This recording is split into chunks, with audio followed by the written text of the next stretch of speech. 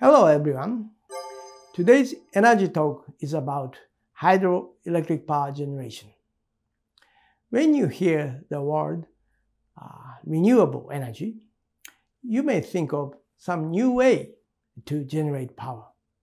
But hydropower is one of the renewable energy sources that has been around for a long time. In fact, it was the largest renewable energy generation in Japan until it was overtaken by solar power in 2019, four years ago. This is because the topography of the country, surrounded by mountains and a climate with high precipitation, is ideal for hydropower generation. As I mentioned in the previous energy talk, hydropower has been utilized for power generation ever since the first hydropower plant was built in Japan in 1888. It used to be the main source of power generation in Japan. Well, first of all, let me explain how hydropower works.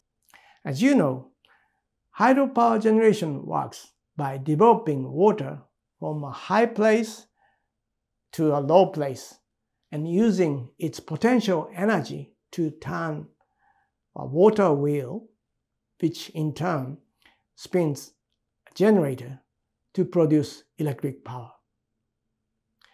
There are several types of hydropower generation. Some use the flow of river to generate electric power, while others store water in the pond and drop it when needed. These types of hydropower are called general hydropower. When you hear the word hydropower, you may think of dam.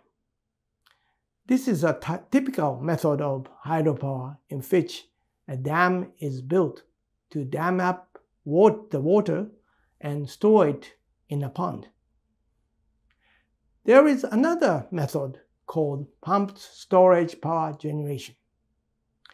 It has two ponds, an upper and a lower pond, and pumps up water into the upper pond when electric power demand is low, such as nighttime, and generate power by dropping water into the lower pond when needed to generate electricity. Currently, there are over 2,000 hydropower plants in Japan, most of which are general hydropower plants, and only 20 are pumped storage plants. General hydropower is also responsible for most of the amount of electricity generated. However, general hydropower plants have a total generation capacity of about 22 million kilowatt, while pumped storage power plants have a total output of about 5.6 million kilowatt. In other words, the output per unit of pumped storage power plant is on average 25 times greater.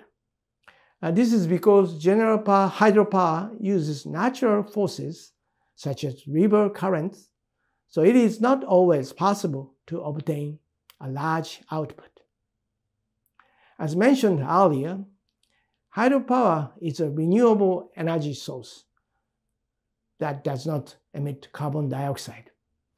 Furthermore, unlike solar power and wind power, it has the advantage of being able to steadily generate a certain amount of electricity regardless of weather and other natural conditions.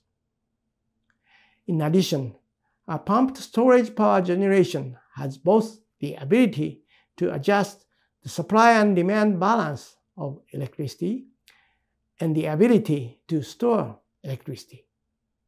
This is because it can be used pumped up water from the lower pond when there is a surplus of power supply and to generate electricity when there is a shortage. This capability has become very important in recent years. The reason is that the ratio of renewable energy sources that do not emit carbon dioxide, such as solar power and wind power, is inevitably increasing as a countermeasure against global warming. But it depends on the weather conditions and may not be able to generate power when it is needed. It may also generate power when it is not needed. During period of low electricity consumption, for example in the month of May, solar power generation exceeds power consumption. And the measures to stop solar power generation have already begun to be taken out of necessity. This is waste of green power. For this reason, using up such excess power is an extremely effective function. Of course, there is no point in wasting electricity, but with pumped storage power plants, surplus power can be used to shift generation time to when it is needed. It can be said that it functions like a large storage battery Originally, pumped storage power plants fulfilled an important function by pumping up water using surplus electricity at night when power consumption is lower and generating electricity during the daytime peak hours when the power consumption is higher.